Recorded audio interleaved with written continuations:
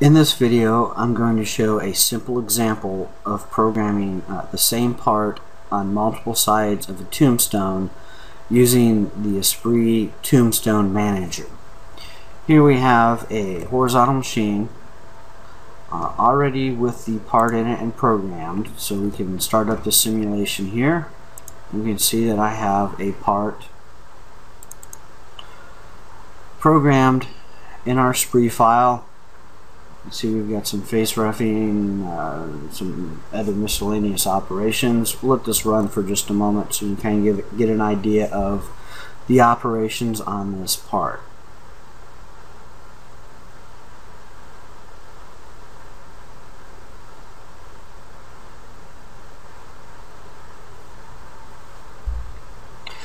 Okay, so it goes on to continue the rest of the programming on this part. Uh, if we stop our simulation, we can see uh, here in Esprit we've got one part.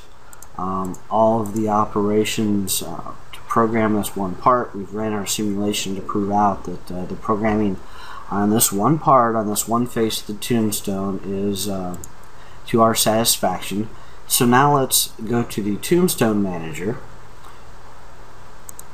And we'll set up our other faces of the part tell the tombstone manager how many sides we have have on our tombstone, how many uh, different part orientations we have.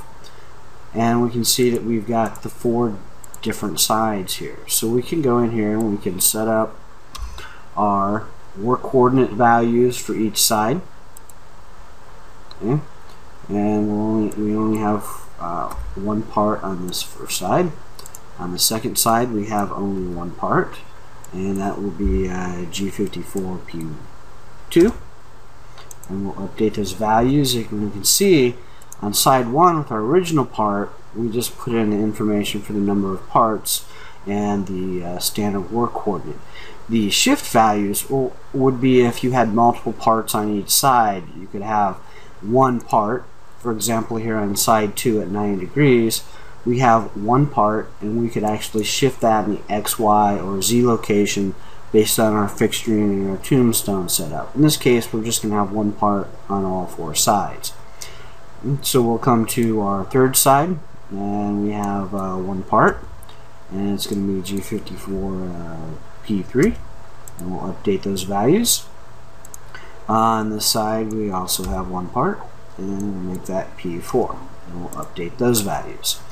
So we can see where for each individual part we can set up the shift to the location of the part on its specific face of the tombstone, um, how to copy the uh, work coordinate and from the original part to each side correspondingly to its location and as well as modify the uh, work coordinate uh, values, both the uh, primary and secondary work coordinate values. Uh, in this window we have the uh, box showing any fixturings we may have set up in our machine setup that would rotate with the part. Uh, this is a simple setup but if we had uh, clamps or fixturing on the side of the part we could select those in our checkbox here and it would be copied with each individual part. Here this fixture is just the tombstone so we don't need to copy that.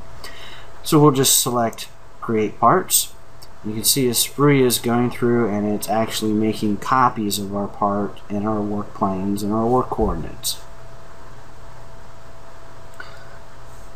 Alright, once that's done we can just close the uh, Tombstone Manager and we can see here's our first part. We come down here and we can see where the face roughing starts for the second part. And the Tombstone Manager just copies the, the operations. If we go to our Features Manager we can see G54.2P2. We can see how it's modified our work uh, coordinates for each individual part. Okay, now let's organize these operations. So let's um, select all of our operations and we'll come down to uh, the Esprit's advanced sorting. In this particular case, we'll do something uh, simple for sorting. We'll sort by tool number since my tools are actually running on each side in the order that I want to run them. We'll just do an ascending sort and then we'll sort by work coordinate number. So we simply select apply. And Esprit is now sorting based on our sort criteria. So once we exit out of this, we can come up here and we can see Up here we've got one, two, three, four face roughings on each side, and then the face rough of the sides, and then similar sorting for each of the individual tools. So if we run our simulation now at this point, we can see that Esprit is actually running things in the order of uh, optimizing for the tombstone. Let's uh, speed this up slightly here a little bit so we can watch these toolpaths progress around the tombstone. So see now we're getting our indexing around our sides.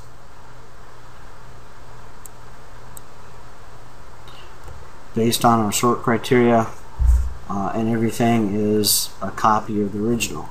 And at this point, we can simply, um, after we run our simulation and check everything, we simply create our um, NC code. In this particular case, I'm using a, um, a simple example of a, uh, of a post that will output the uh, main program. You see here, here's my uh, part, here's my main program, and it's calling up the subroutines or the subprograms for each individual operation. If we go to the subprogramming, you can see 9001 is the face rough, 9002 the face rough sides,